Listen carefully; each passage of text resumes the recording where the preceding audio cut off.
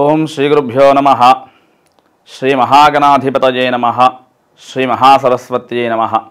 చాలామంది కూడా ఇల్లు పూర్తి కాకుండానే గృహప్రవేశాలు చేస్తున్నారు.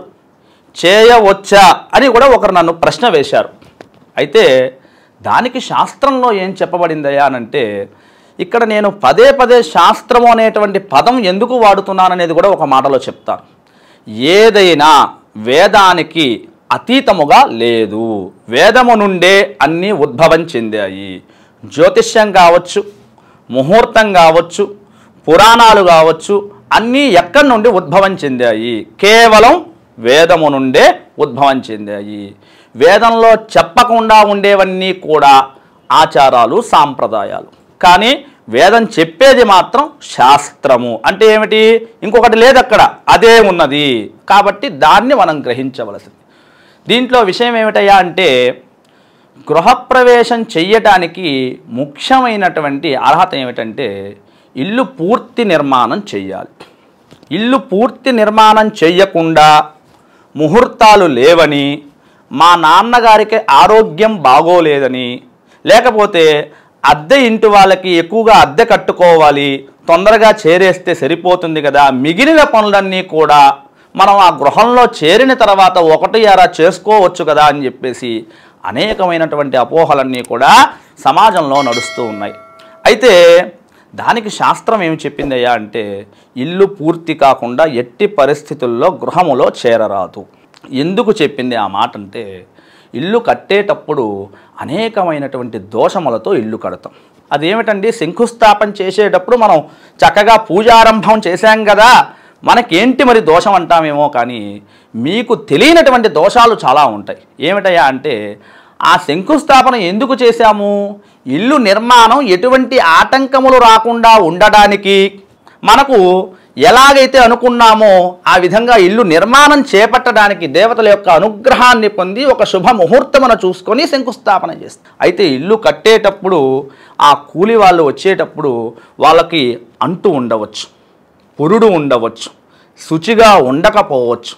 అట్లానే ఇంట్లో వాస్తు దోషములతో ఇల్లు కట్టవచ్చు. తర్వాత అనేకమైనటువంటి దోషముల వల్ల ఇల్లు కట్టడం వలన దానికి గృహప్రవేశాలకి ఇల్లు పూర్తి కాకుండా కానీ చేరితే ఆ దోషములతోనే మీరు కూడా జీవనం చేయాల్సి వస్తుంది. ఎందుకు చేయాలి అని అంటే ఇల్లు పూర్తి కాకుండా చేసేటువంటి గృహంలో ఎవరుంటారు? ఇది ప్రశ్న వేసుకోవాలి. రాక్షసులు నివాసం ఉంటారు. ఎవరుంటారు? రాక్షసులు. ఎందుకుంటారయ్యా అంటే వాళ్ళు అకాల మరణం చేత ఎవరైతే మరణించబడ్డారో వాళ్ళు ప్రేతములుగా తిరుగుతూ ఉంటారు. ఈ ప్రేతములుగా తిరిగేటువంటి వాళ్ళందరూ కూడా పాడుపడ్డ ఇల్లు కడుతున్నటువంటి ఇల్లు కడుతూ మధ్యలో ఆగిపోయినటువంటి ఇల్లు అలాగే నిదానంగా కడుతూ ఉంటారు చాలామంది చాలా ఏళ్ళ వరకు. అలాంటి ఇళ్ళని ఆశ్రయం చేసుకొని ఉంటారు. కాబట్టి ఈ వాస్తు దోషాలు ఇలాంటి రాక్షస సంహారమైనటువంటి దోషాలన్నీ ఎప్పుడు పోతాయి అని అంటే మంచిగా ఆ ఇంటి పనులన్నీ పూర్తయిపోయిన తర్వాత ఒక పురోహితుడి దగ్గరికి వెళ్ళి అయ్యా మా పేరు మీద మంచి లగ్నం చూడండి మేము గృహప్రవేశం చేయాలి అన్నప్పుడు వారు మీ యొక్క జన్మ నక్షత్రాన్ని నామ నక్షత్రాన్నో అనుసరించి మంచి శుభ ముహూర్తము చూసి మిమ్మల్ని ఆ శుభ ముహూర్త కాలంలో గృహప్రవేశం చేయిస్తారు. ఇంట్లో కూడా ఇంకొక ముఖ్య విషయాన్ని తెలుసుకోవాలి. నేరుగా మానవులు వాళ్ళు కట్టినటువంటి ఇంట్లోకి కూడా ప్రవేశం చేయడానికి అర్హత లేదని చెబుతున్నది శాస్త్రం. ముందుగా ఎవరిని తీసుకొని వెళ్ళాలి?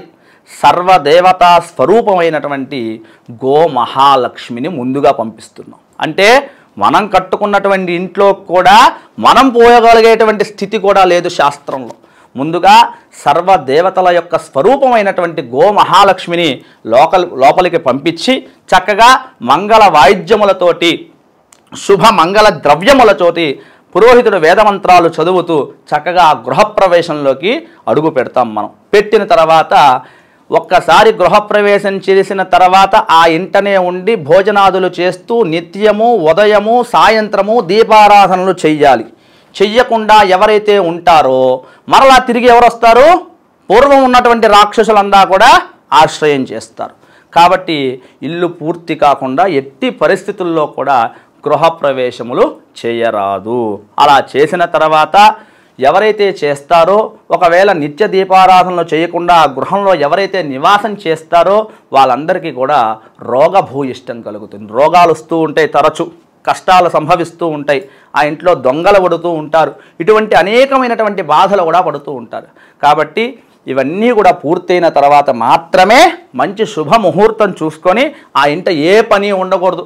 ఒకవేళ పని అంటూ కూడా ఉంటే ఏదన్నా రంగులు వేసుకోవడమో పెయింట్లు వేసుకోవడము అంతవరకే ఉండాలి తప్ప ఇక మళ్ళా తవ్వడాలు పగలగొట్టడాలు ఇలాంటివి ఏవి కూడా చెయ్యరాదు కాబట్టి ఈ విషయాన్ని తెలుసుకొని చక్కగా ఇల్లంతా నిర్మాణం పూర్తయిన తర్వాతే గృహప్రవేశం చేయండి. ఆ ఇంట మీరందరూ కూడా సుఖ సంపదలన్నింటినీ కూడా పొందండి. శుభం భూయాత్. వీడియో చూసినందుకు ధన్యవాదములు. ఈ వీడియో మీకు నచ్చినట్లయితే లైక్ బటన్ క్లిక్ చేయండి. మరిన్ని వీడియోలు పొందాలంటే దయచేసి సబ్స్క్రైబ్ చేయండి. మీ సూచనలు సలహాలు తప్పక తెలియచేయండి.